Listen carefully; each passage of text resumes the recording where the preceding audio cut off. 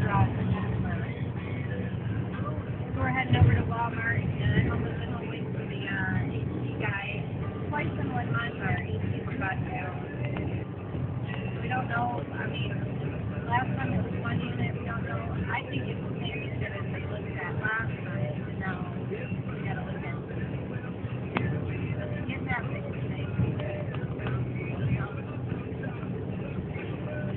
Last night was hot.